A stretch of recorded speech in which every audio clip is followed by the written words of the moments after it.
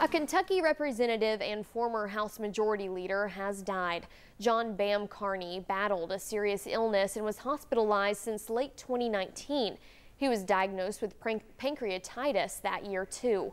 According to his family, Carney died at the University of Kentucky Medical Center, and he was 51 years old.